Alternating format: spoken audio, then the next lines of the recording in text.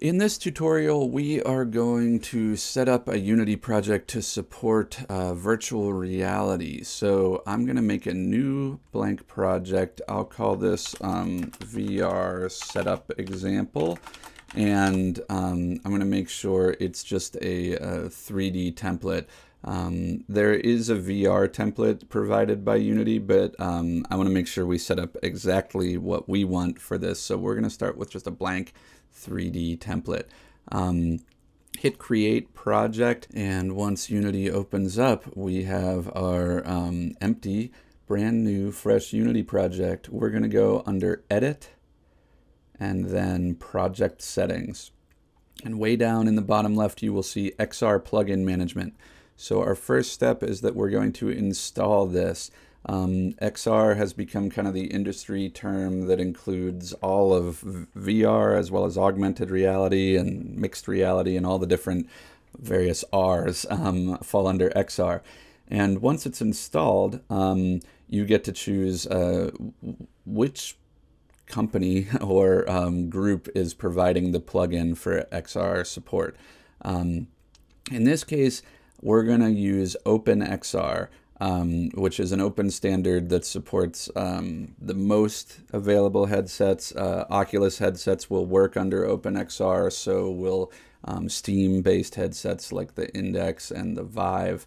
Um, we can support others, uh, but OpenXR is going to give us the widest support. Um, so uh, as you finish installing this, it throws a warning that um, we've encountered before. If you've been following along in these tutorials, there's a, a first-person character controller that we've used in the past that uses the same um, input system. This is basically telling us Unity has a new input system in the last few years, but it's not set up by default. Um, if you change to the new input system, you have to close Unity and restart your project, um, and it will automatically change the settings for you. And we want this, um, so it's not going to affect us uh, negatively at all, so we say yes to this. Unity will save, close, and open back up. So now the OpenXR plugin provider is installed, but you can see there's a warning next to it, and we want to click that warning um, because there are two things we need to fix. Um, second thing first, because uh, it's easier, um, this thing talking about the game view and the track pose driver, you just click fix. It's a setting that Unity can automatically change to match what it needs. Um, the second one is relatively easy, but we just have to track it down. It says there needs to be at least one interaction profile. So that's which controllers we're going to support. So we hit edit and it'll take us there. And down here under interaction profiles, which is sort of in the middle of this window, it says the list is empty. So that's our problem. We need to click plus and put at least one controller type into this list. Um, so the most common ones on the market today are Oculus and Valve Index and HTC Vive. And so as you can see, you can have more than one controller supported and, and that's fine. We're gonna do all three of those.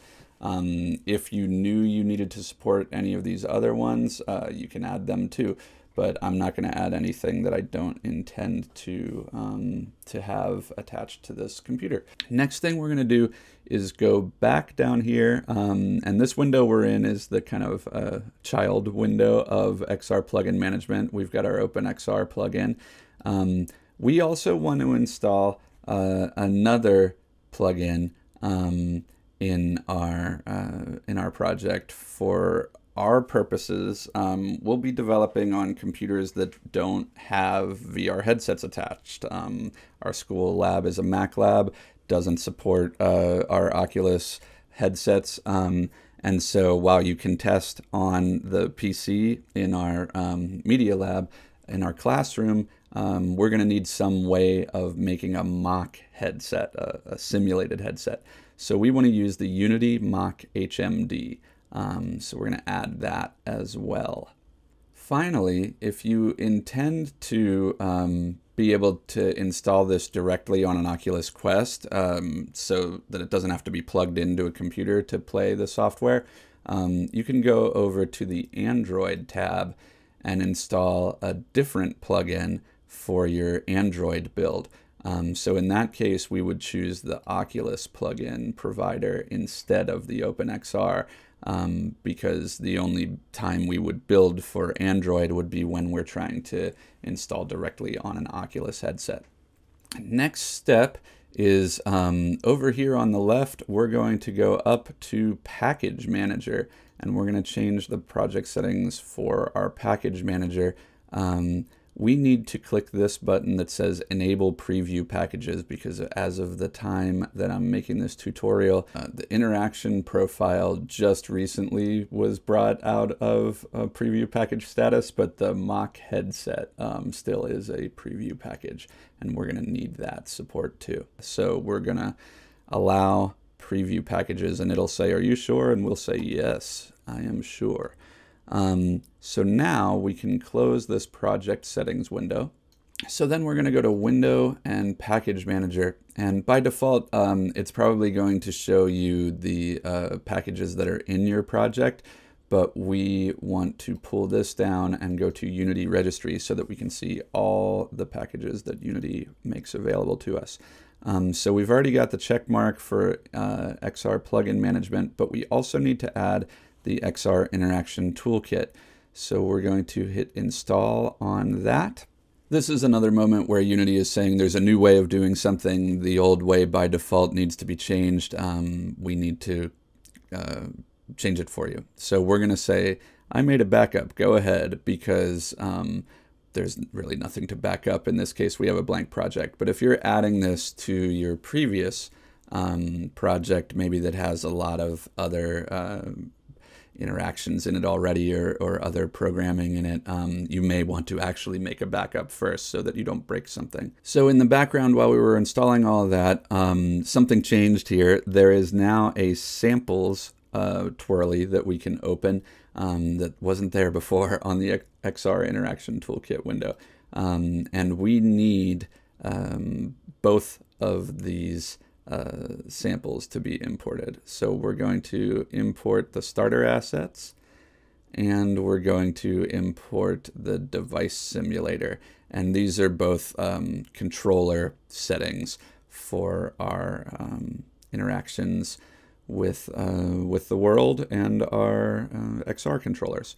So go ahead and close the package manager and then we're going to look at those um, interaction starter assets that we just installed.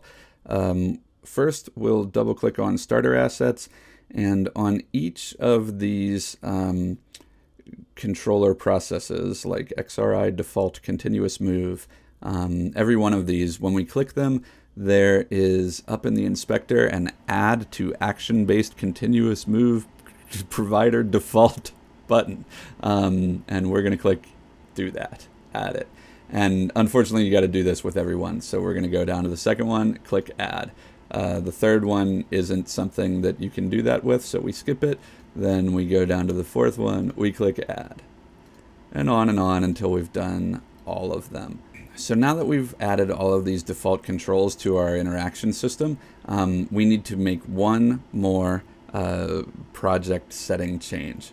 And that's to go up to Edit, Project Settings, and in Preset Manager, um, there is now an action-based controller uh, set of presets.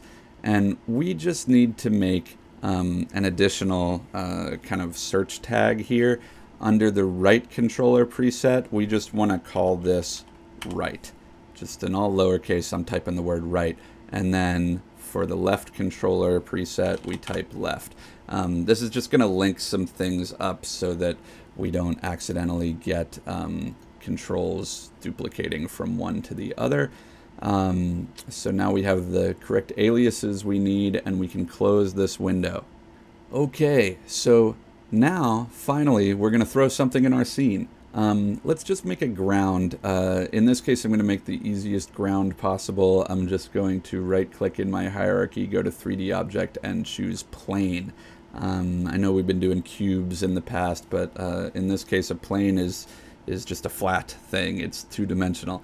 Um, I'll change its name to ground um, instead of plane, and uh, I'm going to change its scale um, just so we have some distance to walk around. So maybe 15 by 15.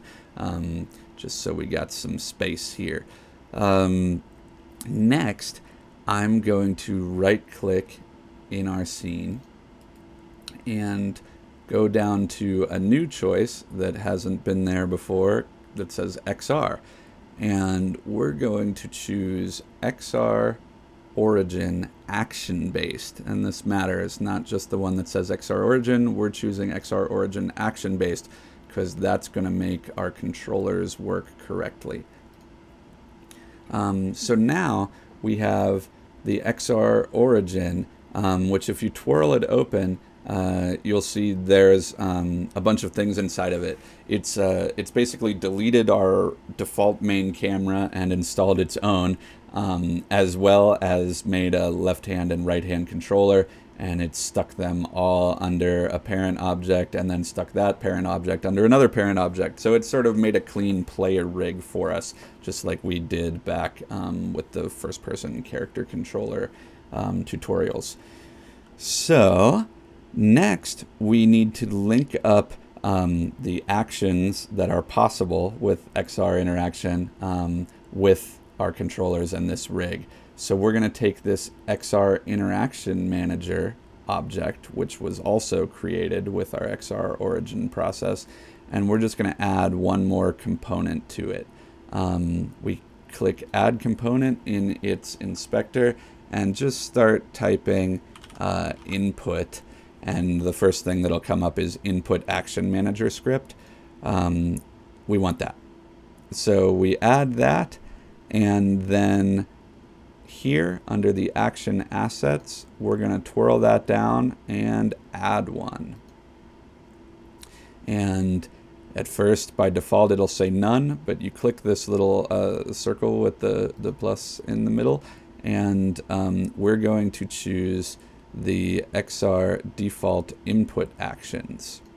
So if you have um, a VR headset plugged into uh, your Windows computer, um, this project we've made would now run um, on that headset.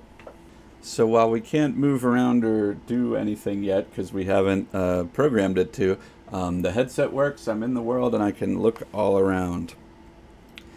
If you happen to have um, both uh, Steam VR and Oculus um, installed on your computer because you're like you got both options, um, you may find that you need to go under your project settings and under XR plugin management, go to OpenXR and choose which play mode is the default. Um, I find that um, Steam VR never uh, pops up if I just leave it to system default. My system default must seem to be Oculus. If I don't want to plug in my Quest, um, if I want to use you know my my index that's plugged in, for example, then I need to switch this to specifically be Steam VR.